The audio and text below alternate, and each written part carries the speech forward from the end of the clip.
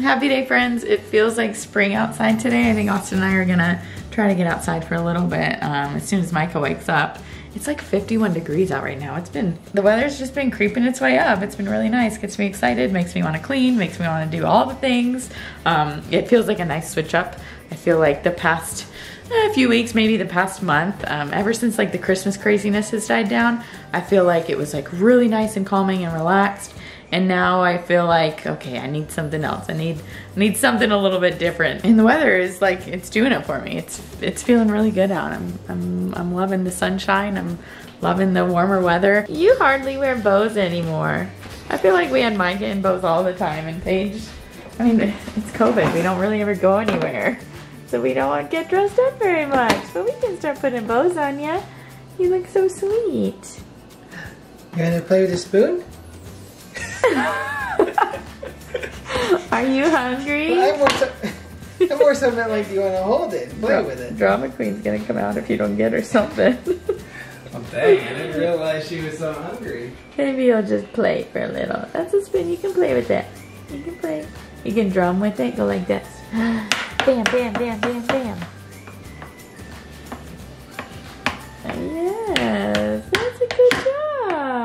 By the time this video posts, today is Super Bowl Sunday. Uh-huh. there- The winner's already been decided, but I'm curious who you guys are who who you guys are rooting for. Who are you rooting for? I don't know.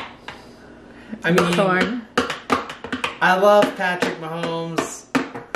Mean, really, they've Wait, both it's, been it's Kansas City and who else? I don't even know who's uh, the playing. Tampa Bay Buccaneers. Tampa Bay. Oh. Both have been oh. giant rivals to Denver for years. Oh, I don't know a whole lot about football, but I remember you were telling me the other day it's Patrick Mahomes, who was the youngest quarterback Yeah. to win the Super Bowl, against Tom Brady, And he's who is the oldest and also has what six six rings under his belt. Now he's on a new team. That'll be an interesting game. I'm kind of going for Tampa Bay Buccaneers. Like, You want to see the old guy win? Go out with a win? well, yeah. Here's the thing. Like, he's played for the Patriots for so long that, like, if he can really do it on a new team, that would be pretty rad. Yeah. Like.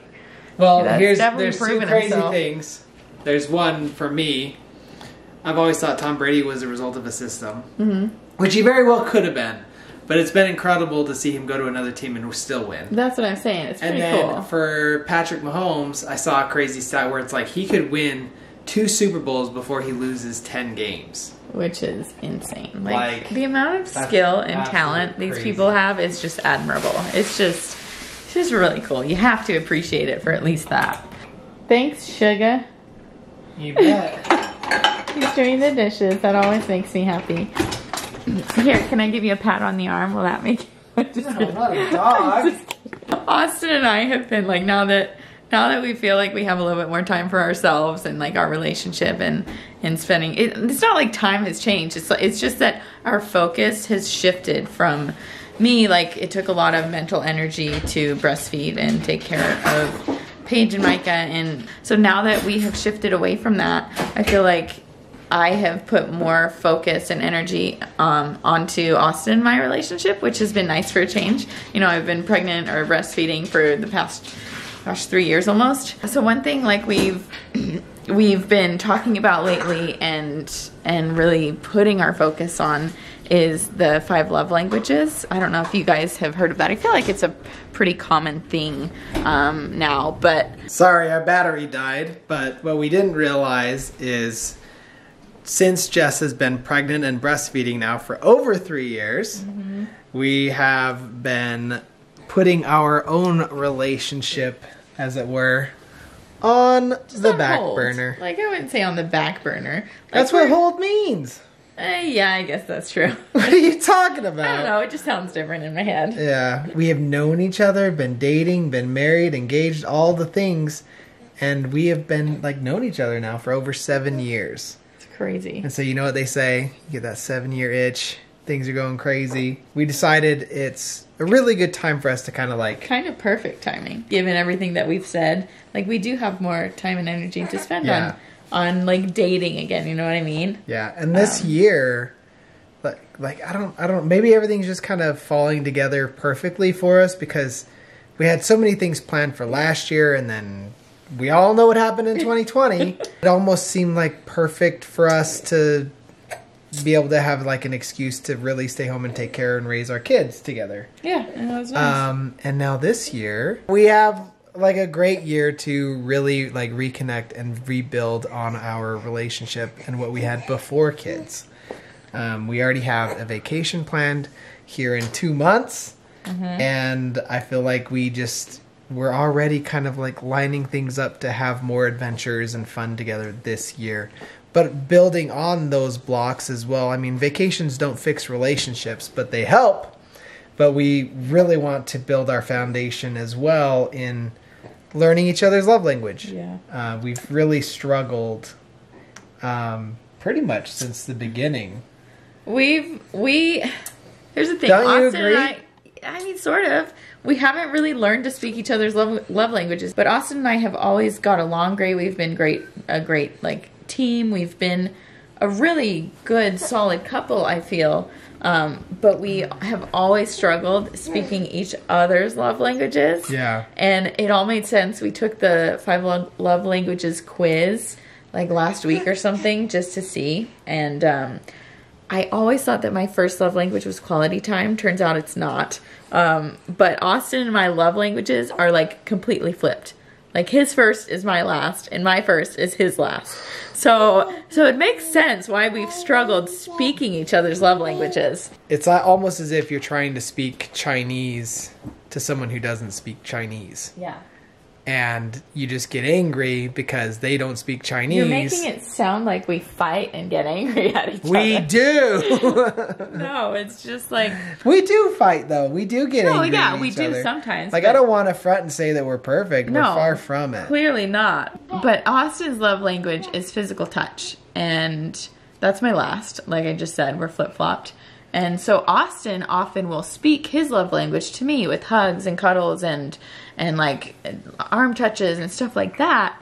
And I just don't receive that well. Like I'm just like, mm, okay, like what you're you're doing this for you. Like I don't want to be touched. You know, like there's certain times when it just it doesn't doesn't speak to me. And being that physical touch is my last, we're using physical touch as an example because it's like the extremes for us. Yeah. But physical touch is my last. I'm not the type of person that'll just go up behind Austin and, and hug him or just like snuggle up and cuddle. Like Oh, not- you can do that. I know, like he loves You've it. never and I'm done that, Like, I do Ah. sometimes when I'm feeling nice, but it's just Oh. like not not how I speak love. So it's been fun and eye opening and interesting learning each other's love languages. And and here's the thing. I took the quiz the first time and my first one was uh, receiving gifts. And I was like shocked because I'm like I don't care about gifts. I don't care about that at all. Like you don't have to get like you know it just was mind blowing to me. But then when we read into it receiving gifts is a lot more about the thought behind it. And so it started making sense like oh like I do I do like to know that he's thinking about me I do Which like has to put know- me in an immediate anxiety attack. because my birthday and Valentine's Day are coming up in the Their next, like, next week. weekend. That- and that's I, I thing, spent you like don't hours last night looking at stupid gift ideas. I'm like, none of these are great. See, that's the thing. Don't give me a thoughtless gift. That'll hurt my my love tank. it's just all it's all about the thought that goes. Anxiety is through the roof, guys. So I if you have any great I gift ideas, I totally appreciate that you are actually like stressing it. Now it's like, no longer fun. Feel good. now it's no longer fun. I I t- like we took something that I used to like doing, and now it's a stressor because now it's like, great. What if she doesn't like it? Is she not gonna love me now? It's not about the actual gift, though. It's not a materialistic love language. It's really not. And that's what I didn't realize before. Let's be honest. Gifts are getting harder and harder to get as time They they on. are in general, but. I think I got you a pretty good one. what? Just kidding. Oh, gosh. See, you have it easy. I don't care about gifts at all. I know. I've never been one to really love gifts. I do love surprises, like Christmas Day is awesome, but I don't like I don't really You don't care about care about physical possessions. Like I'd what much it, rather Well, it's not about. It doesn't have to be about physical possessions. That's Well, I what you're missing. I know. That's not what I know. So you could like gift me a massage, Okay. like. If you were to like massage, you know, like, Yeah, uh, yeah, I get that's, Maybe that's not the best example, I'll massage Stop. I regretted as soon as I said massage. I was like, ah, he's a dude.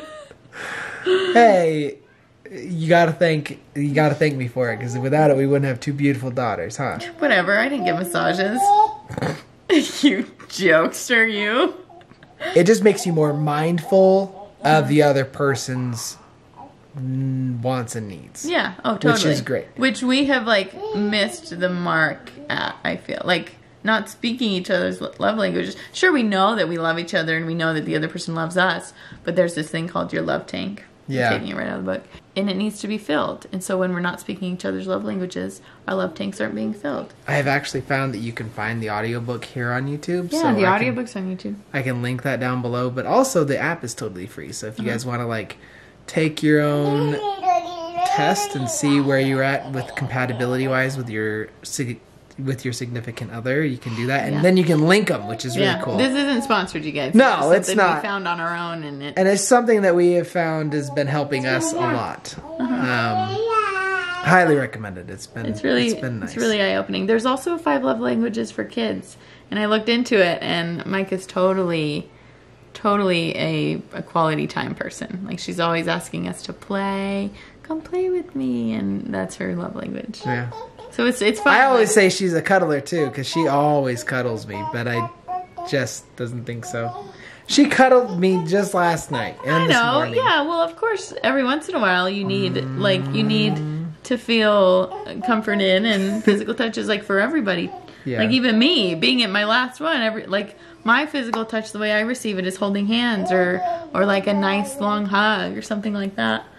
But mm, it's just different for everyone, and Yeah. that and that's what we're trying to learn with each other is like really dialing in on our love languages because we've been aware of them, but we're really trying to dial in on it. Yeah. And you know, this is actually perfect timing because Valentine's Day is next week. So maybe Yeah, this is like true. the That's perfect really little true. talk It- of. Everything, all the timing is just like aligned. It's just Yeah. aligned. So maybe do that for Valentine's Day. Take a little quiz, figure it out, and really try and speak your Do something others. that do something for the other person that speaks their love language. All right. Off to having some fun with some kiddos. What do you want? Do you want some more food? She's like, no, I just want to play and roll around. I don't Come know. play with me." Let's see. Oh, she does want more milk. All right. Told you, she's a growing girl. I'll get you some. You gonna catch me down the stairs? Oh, here I come, here I come. Oh, thank you so much. This way? This way? Okay, are you ready to go on a walk? Yeah. Should we go on a little walk or a big walk? A big one. A big walk. I think that's a great idea. Oh, here I come, here I come. Woo! Come on. Let's go. Whoa, you're so strong. Cute. Oh gosh, I'm rolling off the. Oh jeez. Mom can't multitask, that's for sure. You okay there, Paige? Sorry, sweetie. Okay, take a nap.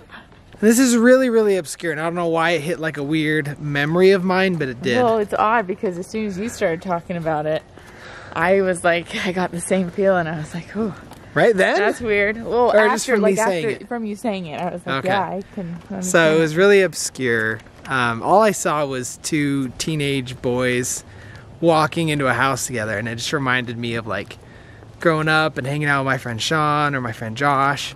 And we would always go over to each other's houses as usual, but we'd also, from time to time, hang out with our dad, you know? And it just got me thinking, like, man,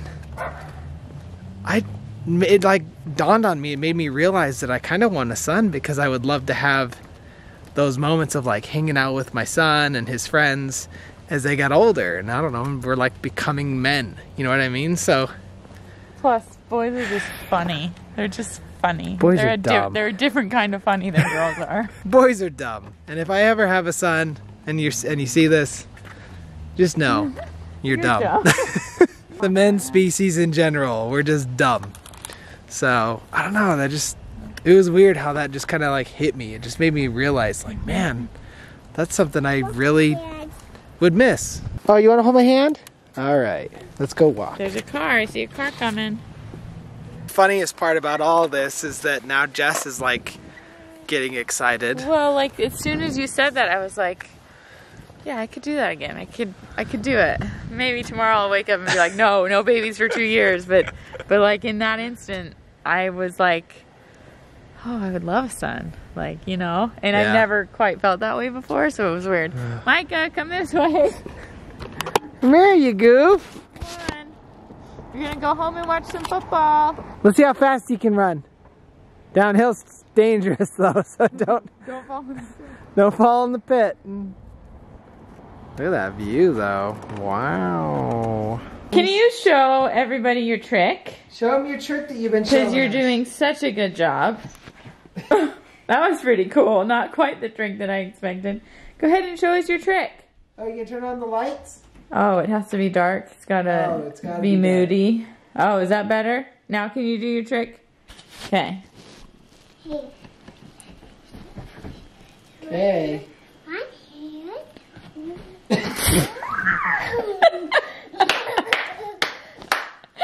Wow, that was a pretty good one. That was a good one. That was good. What is you? wow, good spinning. Here. Okay, do it with do it with you. I'll watch you do it again because I'm not quite sure mom can do that.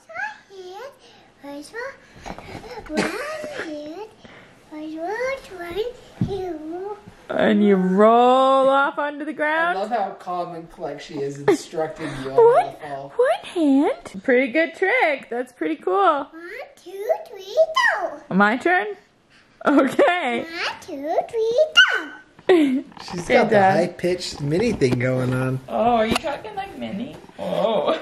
Okay, show me one more time. One, two, three.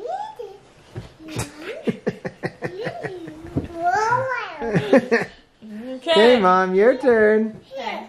Let me, let me hold you.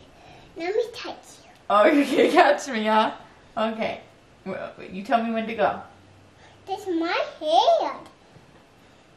My hand. Oh, one hand. Right here. And then what? Roll out. Roll around. I did, I did take this. Okay, catch me. Oh, oh. Body slam. Thank you. It's not looking so good for your Chiefs, babe. I'm not rooting for the Chiefs. Oh, I couldn't remember. I don't know who I'm rooting for. Really, I just don't want either of them to win. But we hope you guys enjoyed the vlog today. Stay tuned next week for Austin's big birthday surprise for me. Dear God. I'm just kidding. I have no idea what if he if I don't know what or if he's even gonna do anything. Don't stress about it, Put a lot of thought into it. and I'm Don't- just gonna kick your ass. Don't stress about it, but just know that that is my number one love language. I'm just kidding. But really though, my birthday is coming up. I don't know what we're gonna do, but hopefully we can get out and do something. I'd love to just go on a date night or something fun, um, just to just to reconnect with my husband more. But we hope you guys enjoyed the vlog, and we will see you next time. Oh, somebody needs help. What she needs help for? Someone please give me some gift ideas in the comments. please, please. Are you gonna do it one more time, Micah? You said you needed help. I thought maybe One something funny happened, but.